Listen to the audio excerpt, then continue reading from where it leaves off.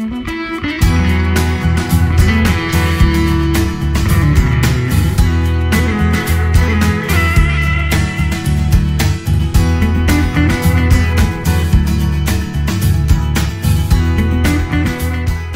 guys, what's going on? I'm out here today gonna put up a new deer stand um, here over my food plot at my uncle's.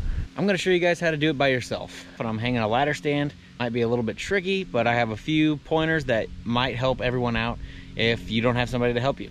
Got pretty much everything I'll need. I'll break this down. I'm gonna carry this over to the tree I'm gonna put it in. Now it's time to pick the tree. In between this tree or the big tree straight in line with the camera. This tree's a little bit bigger, but how it's leaned, I don't know if I like it. I like the thickness when deer looking straight on at me, but there's really no cover up at 17 feet where I'm gonna be. That tree doesn't have much cover either, but it does set off the plot a little further, which gives me that much more to hide with. So standing a ladder, stand up all by yourself. My tip is, typically if I have somebody with me, somebody stands on the base and pushes the, and walks the ladder up. So this case, it's just me. I'm gonna shim the end of the ladder into the base of a tree, preferably the tree that I'm gonna be putting the ladder stand on.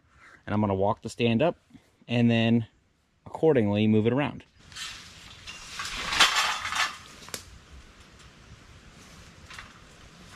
Walk the ladder up.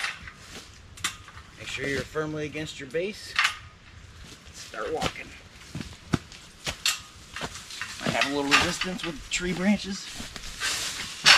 Once you get it vertical, take the bottom of the stand, push it out, and get it to where the stand sits comfortably up against the tree. This is not the angle that I want to have the stand at, but for pushing it up, this was the most clear path away from branches. So this is the angle that I decided to take. At this point, you're going to want to work the stand around the tree to the angle that you might think might be correct for you. It's also important to realize what trees you have for cover. This tree right here in front of me is big and leafy right now. If I'm being honest, I don't know exactly what tree this is, but I'm familiar enough to know that those leaves turn and fall early. So compared to an oak tree, you might have leaves that hang on a little bit longer and give you cover that much longer. Well, you get out here in the field and you got a pretty big window right out the gate. You can see right away, you can see the stand, which kind of puts you in the wide open. Okay, so from where I was earlier, I angled my stand a little bit more to this corner. If you can tell it now, there's a branch that'd be about exactly where I need to be standing. So I think I can still utilize the tree that I chose originally by angling it a little bit. Now this is a 17 foot ladder stand and I gotta say there's two things. Um, I do this differently depending what I have. Right now I don't have it so I have to do it this way.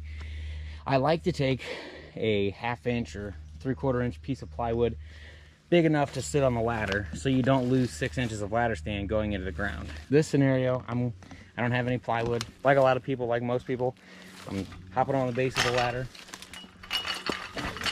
smashing it in. Really trying to make sure it's nice and stable. Get my ladder stand right where I want it. My advice for picking which step works the best is try to find the middle because you don't want too much down where it's going to bow beneath you while you're up there and you don't want too much up where vice versa it goes the other way. Instead of picking the one that's closest, I like to push on the ladder just a little bit. That will hold your ladder in place wherever fits best.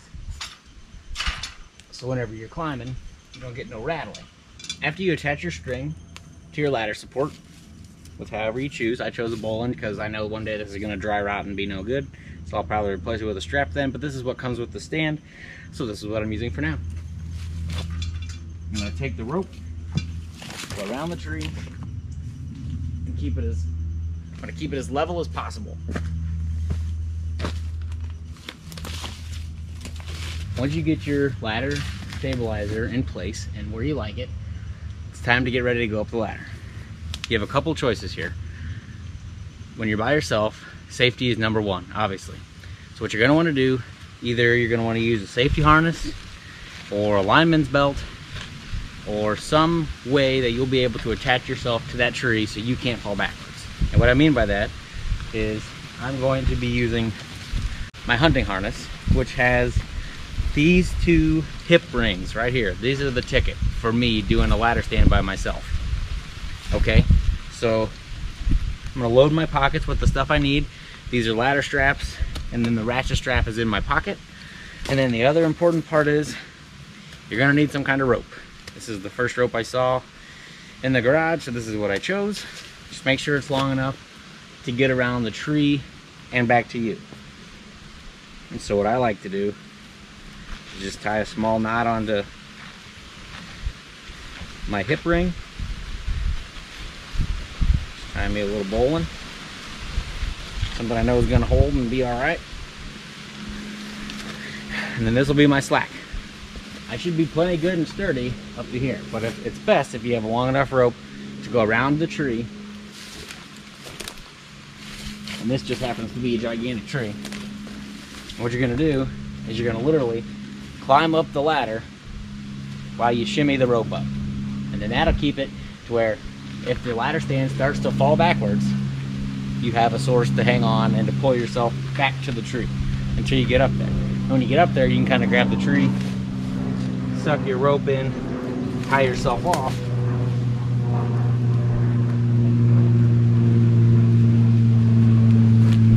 Be able to tie yourself off so you can use the harness to your advantage and have hands to work with while you secure the stand to the tree.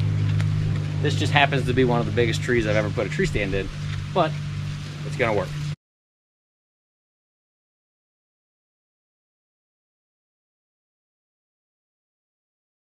Now what I can do, since I came up this way, I can secure this tree stand by just tying it.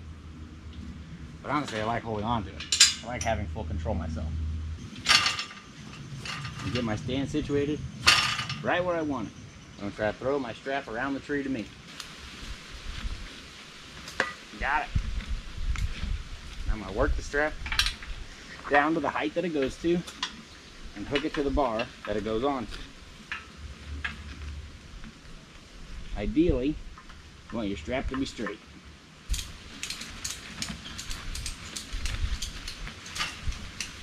Okay, I have my strap around the stand tight enough that the tree stand definitely can't fall anywhere. I still have my safety rope on, but I'm gonna get up here and check out this, check out the strap, see, make sure it looks right. So now I'm gonna tighten the ratchet strap little by little. Once you get it tight and it starts getting hard, wiggle back and forth on the tree. You wanna work yourself into the bark. That'll loosen up your strap and go again. As you can tell, we're biting into the bark. A lot less wiggling going on up here. I'll go for one more click. Got it. Do a little extra knots with whatever extra strap you may have. Now that I got the stand hung, I'm gonna go up and do some of the extras, kind of talk you guys through how I like my setup. Just go around the ladder. This style, you got a little loop. You just pull the slack through and then push it down to the side of the ladder you want it on. Then I'm gonna head down the ladder, pull these around the tree the way that I want them. So right away after I get the stand fully strapped up top, I come down and I do I finish my ladder supporting because it's important to finish all of your ladder supports before doing any additional work up top. So I'm gonna take this strap as flat and smooth as I can. Now, this is a big tree, I hope I have enough. Now I'm gonna come around the back of the tree.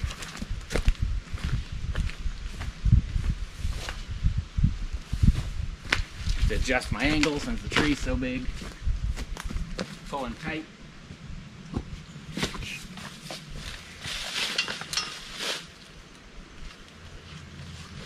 And I'll tie it off here.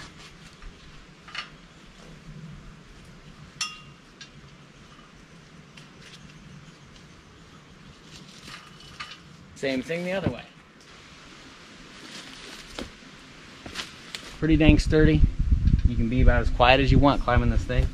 Is the slower you go, the quieter you're gonna be. So one of the first things I like to do as soon as I hang my new ladder stands is I need to look at my view. I need to see what I can see standing up. So if I'm gonna be bow hunting, I need to look at, see what I can see as if I'm sitting down, as if I'm gonna be rifle hunting. And so far I got some pretty good windows and um, I don't think I'm gonna do a whole lot of trimming here because I'd rather have just a few shooting lanes and leave all my cover. Now that I've looked at my views, I'm gonna go ahead and look and think about where I'm gonna want my bow hanger and my backpack hanger. On my left side is typically where I want my bow because I grab my bow with my left hand. Okay, so as you can see, the only thing I have to say is with a bow hanger like this, you wanna make sure you get it in the tree really good. It's obviously holding your bow that you're using to hunt with and you don't want your bow falling. I like this style because I can hang grunt calls or my rangefinder things off these little hooks if I need to. I always do two backpack hangers. One I typically use all the time and the other one is just kind of backup. You never know when you have a bunch of camera gear or just things that you're gonna have in the tree with you. An extra hook to hang something is always a good thing. And so it's also easy to get into my backpack so I don't have to reach way around the tree or or stand way up and reach real tall. I want to limit my movements as much as possible while reaching into my backpack. Regardless, you want to make sure your hangers are screwed in nicely to the tree. Some trees are going to be a pain in the butt, especially if your screw on your screw-on tips are not sharp. If they are dull, you might have to take a hammer and tap the screw part, tap the base in to get it started. Just a friendly tip. Otherwise, you might fight it. I've been there. I've learned. I had to go pretty far up because the base to go around right here is just ridiculously too big for that strap. So I have my tether. While I'm not using it, there's a nice little Velcro tab to hold it in place. So works pretty well. Thanks for joining me today, guys, as I hung this ladder stand by myself. I hope that if you're alone, hopefully you're not, hopefully you have a partner or a hunting buddy or somebody to help you. It just makes life that much easier and safer. If you have no one to help you and you got to do it alone, hopefully this video has helped instruct you and given you ideas of how to go about doing it safely and to be cautious while you do it. I hope that some of my tips and tricks will help you hang your stands safely and efficiently. We'll see you in the next video. Thanks for watching.